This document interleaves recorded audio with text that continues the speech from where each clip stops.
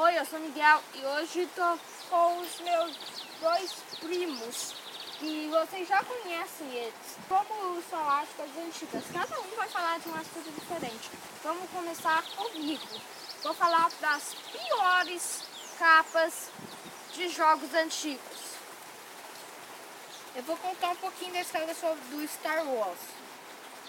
Eu vou contar um pouco sobre a turma da Mônica. A primeira capa que eu, ruim que eu vou falar é a capa do jogo Mega Man 1, que é essa daqui. Mas vocês estão falando, mas essa capa não é tão ruim. Essa capa que eu estou mostrando é a capa japonesa do jogo. Mas as ruins vão para a europeia e a americana. Vamos primeiro mostrar a arte europeia. Essa é a arte europeia. A arte europeia é até que meio esquisita. É, o Mega Man tá aparecendo o rosto de menina ou menino maluco e tá saindo uma mão embaixo. Sim, tá saindo uma mão embaixo do letreiro. Depois dessa capa europeia tem uma pior ainda, que é a capa americana do jogo. Que é isso daqui. Nossa, não dá nem para comentar essa capa. Então, aprecie essa arte por alguns segundos. Vocês já apreciaram? Tá bom. Mas vamos falar agora da, de um jogo chamado Cowboy Kit, que essa daqui é a capa japonesa original dele, que é boa essa capa. Mas agora que veio o momento ruim, a capa americana e europeia. E olha no que deu. Nessa maluquice aqui, isso parece Village People. Parece que vai sair um novo disco do Village People, né? É uma maluquice quem desenhou essa capa. E o Cowboy Kid, que é esse bigodudo aqui, ele não é mais uma criança, mas sim um cara de 30 anos de idade. Ah, nossa. Esses artistas são muito malucos, né? Agora a próxima capa de um jogo chamado Rushing Beat. Esta aqui é a capa japonesa. A capa japonesa até que mais ou menos. Mas agora, quando esse Rush Beat 1 foi lançado nos Estados Unidos e Europa, trocaram o nome, mas só que com capas diferentes. Foi lançado com o nome de Rival Turf. E essa daqui é a capa americana. Nossa, olha esses jovens tentando fazer pinta de malvadão. Eles não são tão malvadões assim como a gente acha. Mas a Europa recebeu uma capa super honesta nesse jogo.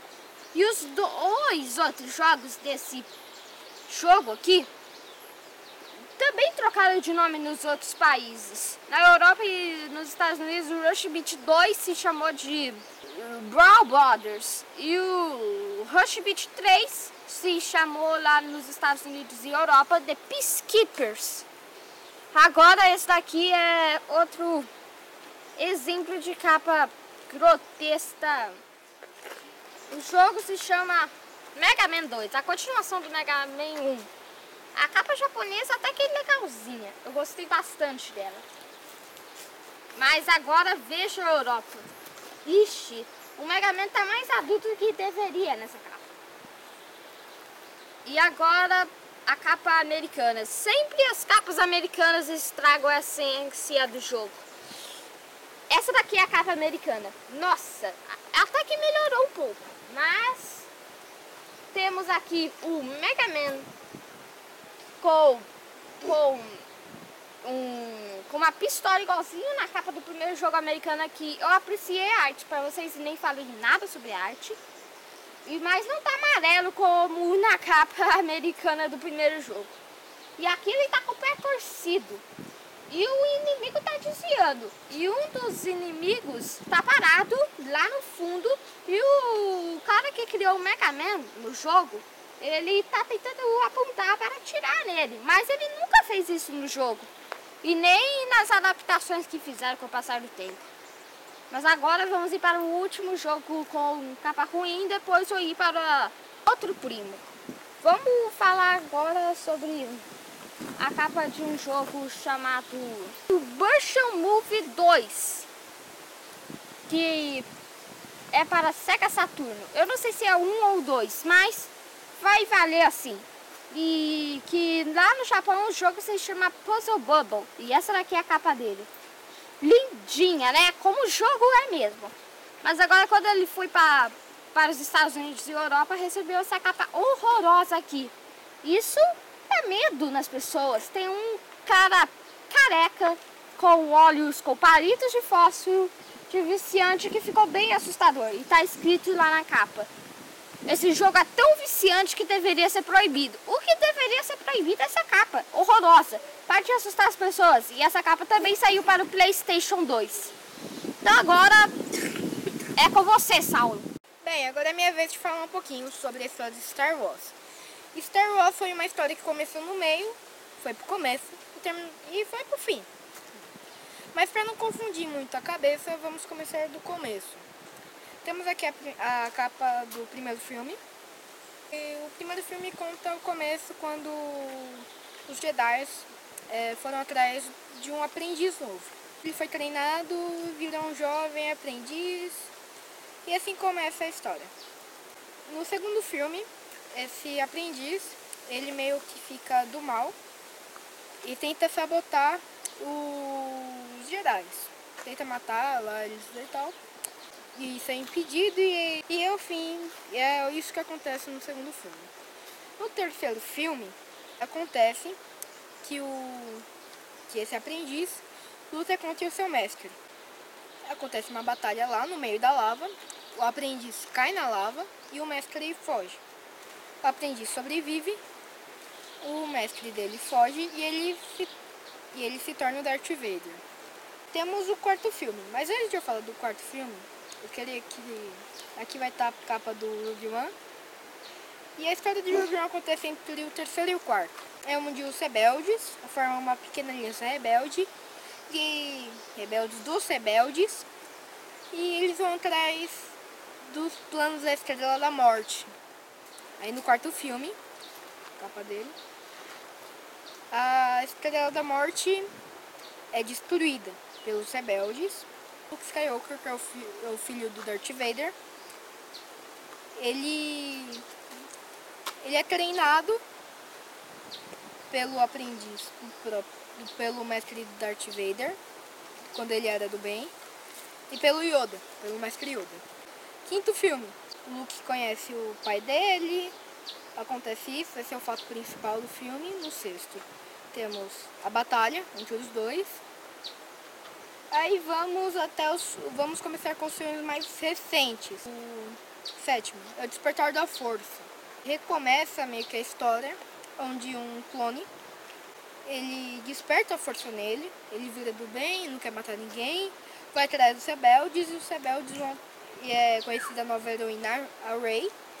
E depois disso, ela é encontrado Luke Skywalker que estava desaparecido. E também Kylo Ren que é o novo vilão.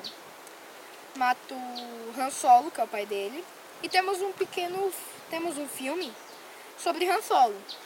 Já que a vida dele não foi bem explicada nesses filmes. Han Solo era um, era um garoto com o sonho de ser o maior piloto de nave que já existiu. Ele se alistou pro exército do mal. E depois disso aconteceu uma reviravolta e ele foi, ele foi para resistência e se tornou o maior piloto que existiu na história de Star Wars. Temos agora o último filme que saiu, o oitavo, que é, na, que é o Os Últimos Jedi. A Rey, que eu falei antes, é treinada pelo Luke Skywalker. Esse acontecimento, essa parte, o Luke já está velho. Então, a maioria dos personagens que eu falei antes já estão velhos. Uma coisinha que eu esqueci de falar. Quando acontece a batalha entre o Luke e o Darth Vader, o Darth Vader, tipo assim, fica pro bem nos últimos minutos de vida dele, salva o filho, que é o Luke, e morre. Isso que acontece. Agora voltando. Aí acontece o treinamento da Rey e tal. E o Luke tenta ensinar pra Rey porque os Jedi têm que serem extinguidos de uma vez por todas. É, acontece um, um pequeno, uma pequena parte que a força liga o Kylo Ren e a Rey. Eles meio que se conectam entre a força. Né? E a Rey vai atrás do Kylo Ren. Acontece, acontece algumas coisas. É, o Kylo Ren destrói algumas naves do, do, da, dos rebeldes. Eles se encontram. A Rey e o Kylo Ren. Nisso, o novo Lord, que é o meio que o líder da, do Império do Mal, o, ele fala pra o Kylo Ren matar o último Jedi, que ele acredita que seja, que é o Rey. E o, aí ele fala, cumpra o seu, de, cumpra o seu destino. Bem nesse momento, o Kylo Ren mata ele e ele fala Rey se juntar ele. Isso não acontece. É, e antes disso acontece uma batalha, eles dois matam um monte, um monte dos guardiões, né? Que protegem, protegem esse Lorde. E ela fala não. E meio que a história acaba por aí. Bem, eu recomendo vocês assistirem todos os filmes de Star Wars. É uma história muito legal. Não dá pra, não dá pra falar muito sobre todos. Se vocês quiserem saber um pouquinho mais sobre sobre Star Wars, um, pouquinho mais sobre conhecimento dos filmes, um pouquinho mais detalhado, vão no meu canal, Pokécid, lá tem vários vídeos legais, eu vou fazer sobre gameplay de jogos, de jogos, mas eu também vou fazer sobre, vou falar um pouquinho sobre esses filmes que eu, que eu gosto, que eu acompanho. Quiser assistir, assista. Que a força esteja com você. Fala, gente, agora é minha vez, né? de falar sobre a turma da Mônica. E vamos logo para os personagens. Artista Cebolinha, artista Mônica, artista Magali e aqui do lado da Magali está o Cascão.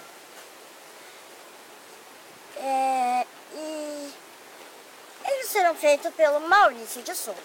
A primeira tira foi do Bidu e do Franjinha, né? Aí depois a do Cebolinha, que Cebolinha era, era o dono da rua, depois a Mônica deu uma coelhada nele e ela virou a dona da rua. Aí, por isso que ficou a turma da Mônica. É, como vocês viram, ele é um desenho muito antigo. E aqui temos uma roupa, Cebolinha, nó nas orelhas do Sansão. E depois vocês já sabem o que acontece. Então, Resumindo, ela dá uma olhada nele e ele fica com os olhos todos marcados, assim, digamos, roxo. Mas depois eles ficam de bem, né? E, então, o Segurinha tem cinco fios de cabelo. A Mônica, ela é nervosa, né? Mas tem motivos, porque o Cebolinha, ela chama ela de dentuça, gorducha, baixinha. Aí, ela dá coelhada nele, mas... E, como, e temos os novos episódios da Turma da Mônica. Isso, os novos episódios da Turma da Mônica. Temos Turma da Mônica Laços. Eu vou, eu vou, eu vou fazer o, eu reagindo Turma da Mônica Laços.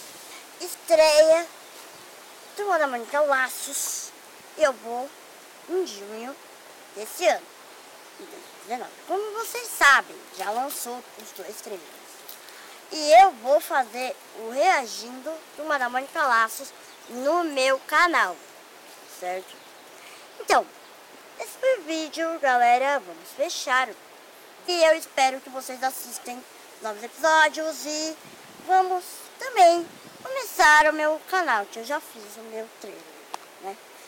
Enfim, tchau. Depois dos meus primos se despedirem de vocês, agora eu me despeço desse vídeo. Então, valeu e tchau.